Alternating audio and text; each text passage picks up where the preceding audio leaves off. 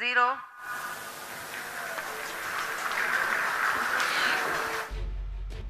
இதுவரை எந்த நாடுகளும் சென்றடையாத நிலவின் தென் துருவத்தை தொட்ட முதல் நாடு என்ற பெருமை இந்தியாவுக்கு கிடைப்பதற்கான கடைசி கட்ட கவுண்டவுன் தொடங்கியிருக்கிறது. இஸ்ரோவின் கனவு திட்டமான சந்திரயான் மூன்றின் லேண்டர் நிலவில் தரையிறங்க தயாராகிவிட்டது. இந்த பயணத்தில் தரையிறங்குவதற்கு முன்பான பதினைந்து நிமிடங்கள் மிக முக்கியமானதாக கருதப்படுகிறது. ஏனென்றால் சந்திரயான் இரண்டு திட்டம் அந்த இடத்தில்தான் தோல்வியை சந்தித்தது. எனவே தற்போது எட்டு கட்டங்களாக பிரிக்கப்பட்டுள்ளன.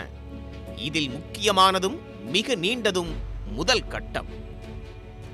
இந்த கட்டத்தின் பொழுப்பதற்காக இந்த ராக்கெட்கள் பயன்படுத்தப்படுகிறது.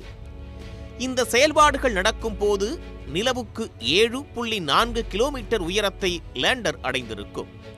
அப்போது லேண்டரின் வேகம் ஆயிரத்து இருநூறு கிலோமீட்டராக குறைக்கப்பட்டு முதல் கட்டம் நிறைவடையும். இதற்கு பத்து நிமிடங்கள் எடுத்துக் கொள்ளப்படும். அடுத்த ஐந்து நிமிடங்களில் விறுவிறுவென தரையிறக்கத்திற்கான நடவடிக்கைகள் தொடங்கும்.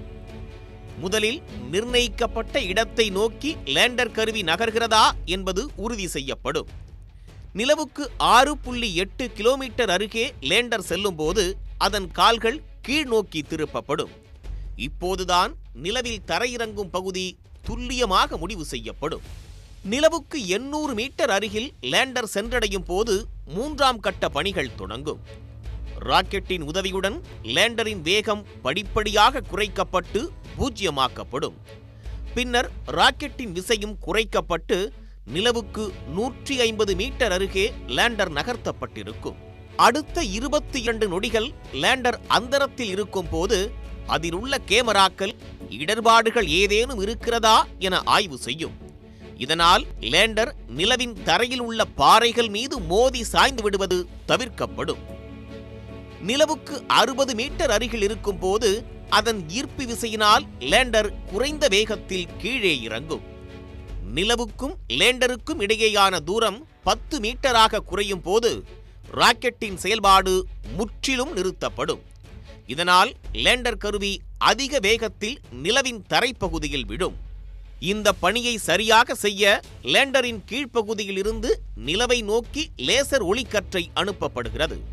அது மீண்டும் லேண்டரை நோக்கி திரும்பும் நேரத்தை கணக்கிட்டு தரையிறக்கம் செய்யும் பணிகள் நடைபெறும். தரையிறங்கிய பின் அடுத்த இரண்டு மணி நேரம் அந்த பகுதி தூசி நிறைந்திருக்கும். எனவே லேண்டர் எந்த பணியையும் செய்யாது. அங்கு அமைதியான சூழல் ஏற்பட்ட பிறகு ரோவரை வெளியே அனுப்பும் பணி தொடங்கும். இதுதான் கடைசி கட்டம். இதற்கு முதலில் லேண்டரில் இருந்து சாய்வு நிலவில் மனிதர்கள் குடியேறுவதற்கான ஆய்வுகளுக்கு இது ஒரு மைல்கல்லாக இருக்கும் என விஞ்ஞானிகள் கூறுகின்றனர். இஸ்ரோவின் திட்டத்தின்படி தரையிறங்குவதற்கான சாத்தியக்கூறுகள் இல்லை என்றால் மீண்டும் நிலவின் குறிப்பிட்ட இடத்திற்கு லேண்டர் சென்றடையும் வரை காத்திருக்க வேண்டும். எனவே இருபத்தி ஏழாம் தேதி இதே செயல்பாடுகள் நடைபெற்று தரையிறக்கப்படும் என இஸ்ரோ தெரிவித்துள்ளது.